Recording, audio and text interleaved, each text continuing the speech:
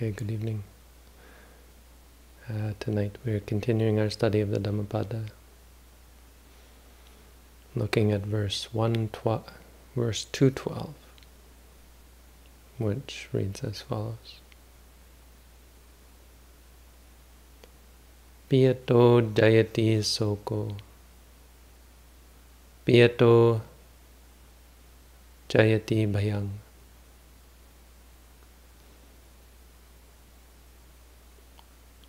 Piyato vippamuttassa natthi soko kuto bhayang. Which means what is dear, from what is dear, from what is cherished, comes sorrow. From what is cherished comes fear. For one who is freed from holding things, from cherishing. There is no sorrow, whence fear? Meaning, how could there be fear?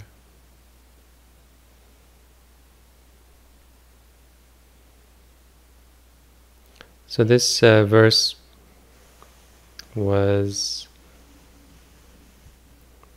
taught in regards to a man who had lost his son. Very simple story, there's not much to it. The story goes that there was this man in the time of the Buddha.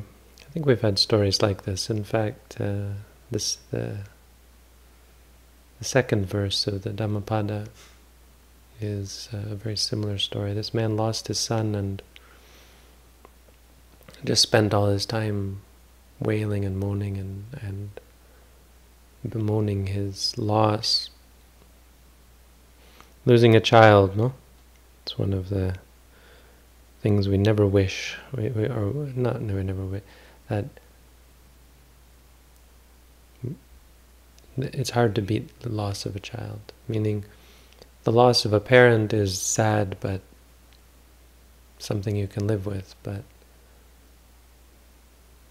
the worst, the most dreadful thing is the loss of, a, of one's child, which you know should never happen in the grand scheme of things. If there were a grand scheme.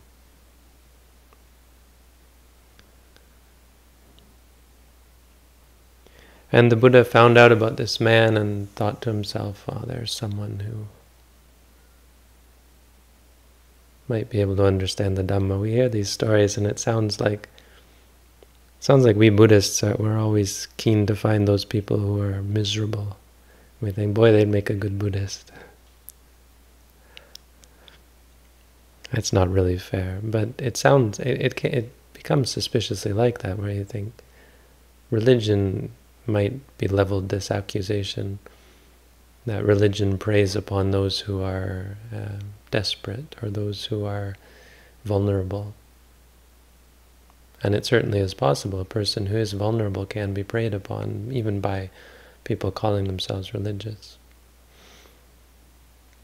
But th that's an uncharitable connection, of course, because religion, in in in most cases, tries to or or claims to or works towards answering questions that science and society can't. You know, you bought into society, did everything right, and still everything goes wrong. What's wrong? So it, it tries to look beyond, right? It claims that there's something beyond. Buddhism as well claims that there's something beyond society, even beyond science. Science can tell you all sorts of things about the brain and the body. Can't tell you much about the mind or the psyche.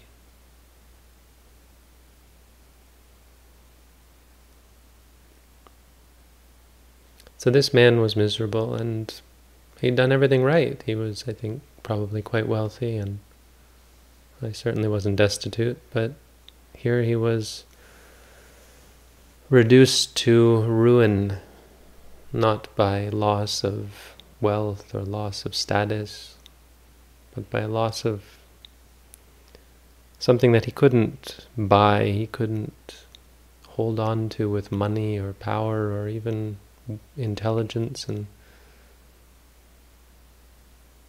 logic and reasoning. So it goes beyond that. What what do you do when you lose your child? And the Buddha went to him and asked him, Why are you crying? Man told him, and the Buddha said, You know, wise people don't act in this way, he said. He's, he wasn't critical. I may, I may sound a little harsh when I tell it, but he wasn't so harsh. He said, in ancient times, layman, householder, he would call them householder. In ancient times, when a man lost his son, he wouldn't cry. He would think to himself, and here we have a Pali that's probably a good one to remember.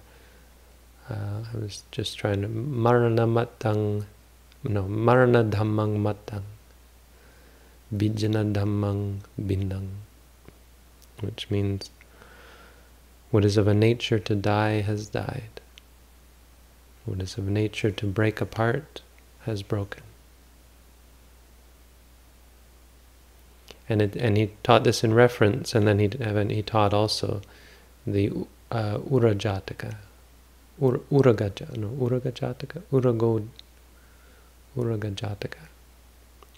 Uraga means snake, it's the snake Jataka. and it only tangentially has to do with the snake because this man loses his son to a snake. A snake bites his son. I once met a monk in, I lived with a monk in Sri Lanka, a very good, close friend the, when I was there, and just a great monk. When he was young, his sister, his younger sister, got bitten by a cobra and died. This kind of thing happens. And in the Uraga Jataka, this, this was the Bodhisatta who was the father. And the story tells that since he got married and had kids, through his whole household career as a, as a father, as a head of a household. He taught his whole family, and they taught each other, and they talked uh, constantly about death. They would remind each other of death and talk about it. It was a, it was a open and common uh, topic of conversation. I find it funny that um, how how shocking the shock value of talking about death. Often when we bring it up and talk about how you might die and and people are disturbed right? It's it's it's kind of funny because of how taboo it almost not taboo but how uh, un, impolite it is to talk about death in our in many cultures. Probably most cultures besides really hardcore buddhist circles. Um, so this was, a, I think, probably at the time quite um, uh, unique or, or exceptional. And today, thinking about it, it's exceptional. Talking to your kids about death, what a horrible thing, right? My parents never talked to me about death. But as a result, when this son died, if we read the story, it's a really good Jataka, one of the ones worth reading. One of the ones especially worth reading especially for the verses, and he says things like this: uh, if you spill milk, the milk jug breaks, or know, if a pot breaks, you don't cry. Crying won't bring it back. Bijana dhammang binang. What has of a nature to break has broken. Life is of a nature to break. And he taught the Uraga Jataka, told the story of this man and how they burnt the son and the son's body, and, and this man came along and said, oh, that must be an enemy of yours you're burning. He said, no, no, this is my son. He says, what? How could this be? You're all here very peaceful and serene and, and not crying and not upset. And he, this man talks to all the family. And they all recite verses and say, if you call the moon down, wish for the moon and, and, and yell at the moon to come down, and it won't come can't bring my son back. each verse had a different way of putting it. So he told the Uraga Jataka here and then taught this verse. Very simple story. As a result of teaching the verse, I think the man became a Sotapanna. He was able to gain a new perspective on things. So he was someone, the Buddha picked out these people who were just ripe. Not like us, we all have to work very, very hard even to get anywhere. The Buddha picked the low-hanging fruit, the people who were ready, because I mean, it's a good example, teaching those people who are ready and are interested in in learning, um, instead of trying to trying to encourage people who don't want to learn and pull people who don't want to learn in. Often we make that mistake, trying to pull in people because they're our friends or our family members. And it, you, it's a lot of lot of work for very little benefit. Whereas instead, if you found the people who wanted to come and were, everyone would think they were crazy, but they're crazy enough to come to a place like this and dedicate themselves to walking back and forth and sitting very still, repeating mantras in their heads. If we if we focus on those people, much better results for much less effort, and so it's efficient. And those people go out and help other people, and, and it spreads that way. Buddhism has never been a proselytizing religion for that reason. It's a difficult thing to practice Buddhism. We teach those people who are ready, who are interested, who are often miserable, but most important are uh, sensitive. Right? A person who is uh, on the upswing, who has everything good in their lives, is often very insensitive to, to the idea that something might go wrong, that something might break. Sometimes, uh, again, the difference between brains even. Apparently our brains are different, which makes sense. Meaning some people uh, are much more susceptible to suffering than others. Something goes wrong, they react more negatively. Other people are um, insulated from it, meaning something bad happens and they're very quick to rebound. It's just by, based on how the brain works, and of course you can train that to some extent, but to some extent it's organic, it's the way the brain is, is composed and so on. That's what it appears to the scientists. I mean, it seems reasonable. But so those people for whom it's very hard to see uh, the negative, right? You, something bad happens, you forget about it very quickly. It's very hard to see the potential for disaster because there isn't really. You're insulated. Temporarily, of course, and the bigger picture is really what this verse is, is uh, part of what this verse is talking about. So the verse has three key words. The first one is cherish, what is cherished. The second one is sadness, and the third is fear and the idea that uh, be, something that is cherished doesn't lead to happiness, doesn't lead to contentment and bliss and, and a good life, doesn't lead to goodness. We kind of have this idea, I suppose, that um, the, the, the things that we like, the things that bring us happiness, that happiness is goodness. Right? We put the cart before the horse, whereas in Buddhism, goodness leads to happiness. We seek out happiness in the world. In Buddhist, Buddhism, it's not that way. Well, in Buddhism, we see through that and see that seeking out happiness isn't good. Happiness doesn't lead to goodness. it doesn't even lead to happiness.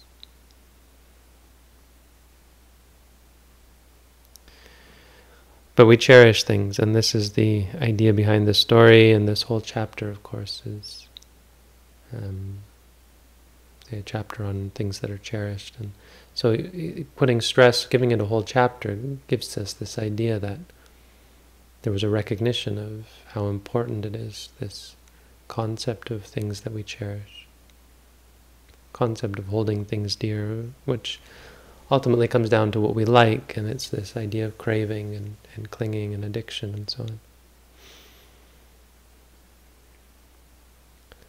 So what what I think is interesting about this verse and, and this teaching is it's what we talked about last week and we'll talk about for the well not next week but for quite a few uh, verses for this whole chapter probably.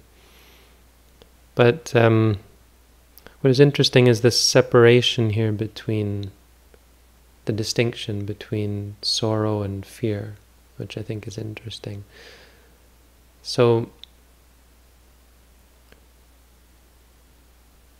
the idea that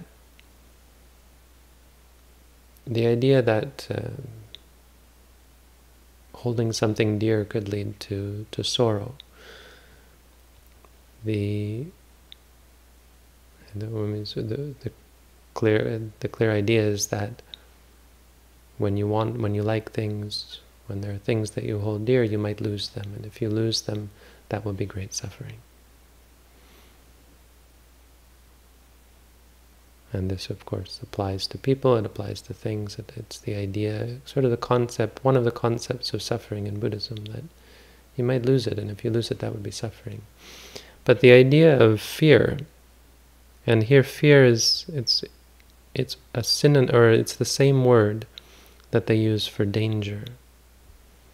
And it seems a little bit odd because in English, of course, they're two very different words, fear and danger, but the, the idea, the commonality behind them, is the anticipation or the, the concern for the potential of suffering, right? When you fear something, you don't fear what is happening to you, right? If someone, if, if you're in great pain, you're not afraid of the pain.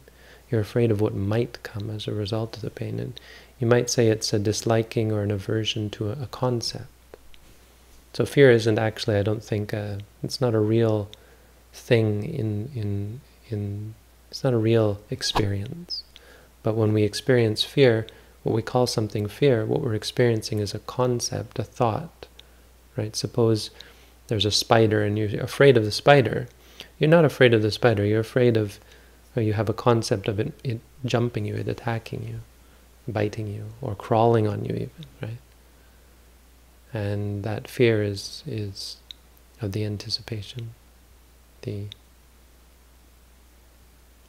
that's not even quite it's more complicated because if the, you can have, see a spider on on you and just be freaked out by the touch but it's still very much associated with the idea that the spider might bite you or that sort of thing. Anyway it, the point is ultimately it comes down to a simple mind state. Uh, but what's interesting about it is that you you can have all the things that you love. You can be surrounded by the people that you love and still suffer. And suffer not because you've lost something, not because you can't get what you want, not because you've gotten what you don't want, but simply because you could lose what you want. And this is uh, something that makes meditation stand out, mindfulness stand out, because of the uh, the insight that it gives into the suffering inherent in having things that you cherish. That it's not just the sadness that comes from not getting what you want, but it's the constant, not constant, but ever present, uh, incessant and repeated and, and regular appearance of terror, of fear, of worry. The concern that you might lose what you have. Sometimes this is why, of course, thinking about death is so powerful, why it's important for us to think about death, because death is sort of the, the biggest thing that we might fear, but there's many others. Think about all the things that you own. Think about your house, your car. Think about your family, more deeply valued things, your, your relatives. What if your parents died? What if your children died? What if your siblings and friends and lovers? What if they all died? What if you lost your health? What if you got sick? What if you got in a car accident? What if you lost all your money? I mean, many things. Anything that we hold dear. What if suddenly you were bankrupt, you had no money? What if suddenly this house burnt down and we were all here, regardless of what future aid we might get? We were all forced to go and walk out in the cold and the snow.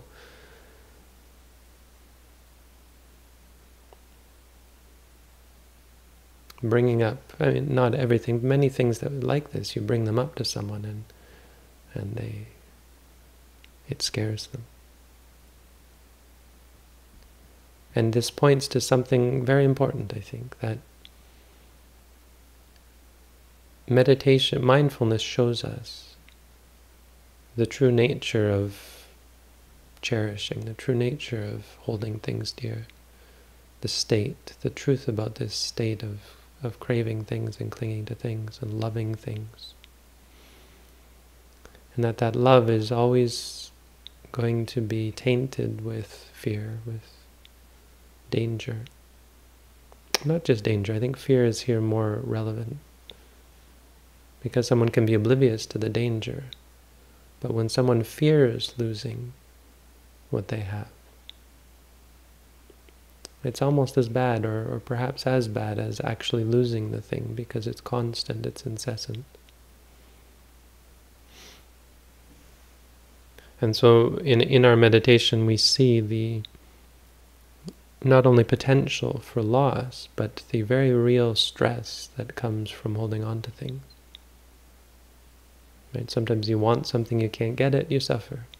But sometimes you have something, you're afraid you might lose it. You have stress over it or worry over keeping it. And it goes beyond fear as well. It goes to um, the simple stress involved with wanting things. When you want something and then you're concerned about getting it or worried about how to get it or have to think about how to get it. Many, many things that you see in meditation. And what I think also bears noting is how how ignorant we are to this without the practice of mindfulness. It, it almost seems like a silly thing to say that things you have, you might you you might lose them, and that there's this fear associated because our perspective of thinking that happiness comes from getting what you want, not the Buddhist perspective, the, the ordinary perspective of thinking, if I get what I want, if I work things out in life and work hard and get everything okay, then I'll be happy.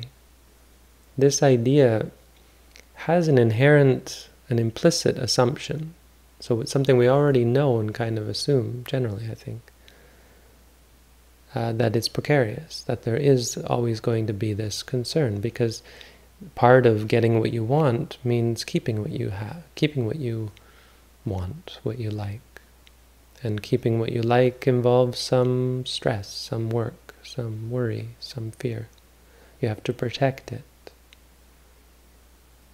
And so the point in that, uh, what I mean to say is, this kind of happiness, the happiness of ordinary society where people have houses and they have jobs and they have families and so on, is always going to be inferior, is always going to be lacking.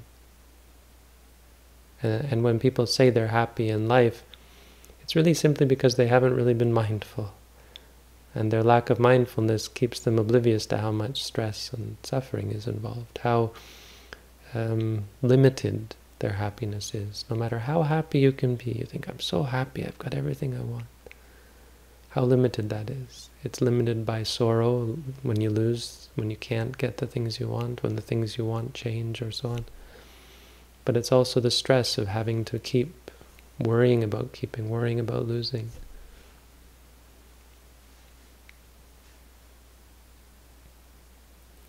And so the end of the verse, Natthi Soko Kuto, kuto Natthi Soko Kuto Bhayang.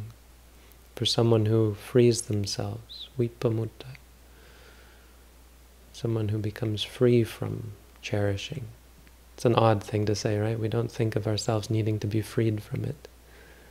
We leap headfirst into cherishing. Yes, cherish. Dearly beloved, our, our whole culture, most cultures in the world are about cherishing. Hold on to the things you cherish. Find something you love. Do something you love. Yeah, not in Buddhism. In mindfulness, we see differently. We come to, we make claims about seeing through that, and claims about the limited nature of cherishing, and and and more importantly, for this part of the verse, the the constraint and the binding and the servitude involved with cherishing things. That in fact we are not in charge.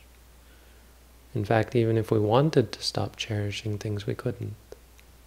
If we wanted to stop holding things dear and suddenly we say, okay, my son is dead, I don't love him anymore. Let's just get rid of that attachment now because it's no good to me. Even if we wanted to do that, most people don't. They're quite happy to suffer.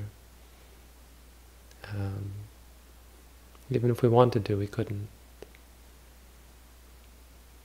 We couldn't because we, we're ignorant, because we don't see the stress and suffering. We don't realize the the, trap that we're stuck in. We don't see clearly. So through the, our practice of meditation here, you you might find yourself letting go of some things. It can be scary. It can be scary because you think, oh, what about all those things I love? I'm going to lose them? But what you will find is not that suddenly you've lost things that you love. You'll find yourself gradually letting go, gradually opening up to to possibilities, possibilities of what we call loss and, and, and gain, getting things you don't want, losing things you do want. But we call them those things, but it's simply, really, in reality, it's just change. You open yourself up to change. Change no longer threatens you. It's no longer scary. It's no longer dangerous. Vippamutta, you become freed, released from the bondage of having to find happiness in things. Your happiness, your peace comes from comes from freedom. So, a good verse, another one of these verses about cherishing. We're going to have many more, I think. And this verse is verse 212 of 423. There are 423 verses in the Dhammapada. We've covered 212, which means we've passed halfway with this verse. So, thank you all for keeping up and uh, your interest in the Dhamma and interest in the practice. Thank you all for being here and practicing. I wish you all the best in your practice. That's the Dhammapada. Thank you. Have a good night.